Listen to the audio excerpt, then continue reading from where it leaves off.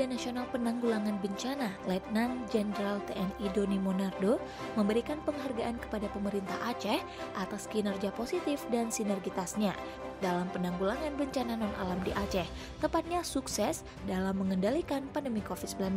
Penyerahan penghargaan yang juga diberikan kepada beberapa pemerintahan provinsi lain itu dilakukan secara virtual pada rapat koordinasi nasional penanggulangan bencana 2021 yang digelar pada Rabu 10 Maret 2021. Secara seremonial, Kepala Pelaksana BPBA Ilyas memberikan langsung piagam penghargaan tersebut kepada Gubernur Aceh Nova Iriansyah. Alhamdulillah kasusnya mengalami penurunan. Mudah-mudahan bisa dipertahankan dan terima kasih atas seluruh pengabdian dan dedikasi yang telah diberikan, kata Doni Monardo. Jenderal Bintang 3 itu berharap pemerintah Aceh bisa tetap melakukan konsolidasi dengan BNPB dalam penanganan berbagai bencana baik alam maupun non-alam di Aceh.